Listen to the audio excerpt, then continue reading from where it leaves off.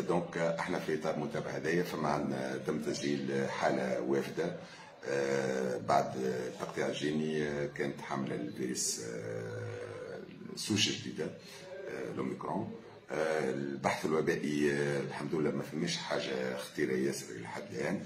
ما لاحظناش فما إصابات.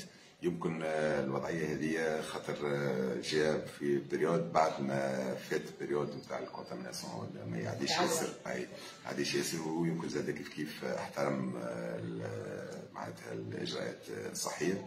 لكن إلى حد الآن إحنا مازلنا قاعدين نكملوا في البحث الوبائي علاقة بالوضعية الوافدة اللي فوقنا بها هذه. نعملوا في التحاليل الإيجابية ما لقيناش إلى حد الآن.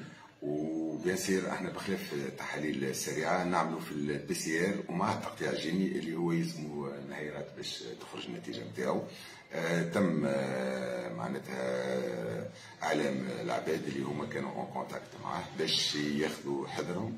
وبعد ما قمنا بالتحاليل. هو حالته مستقرة؟ لا لا بس.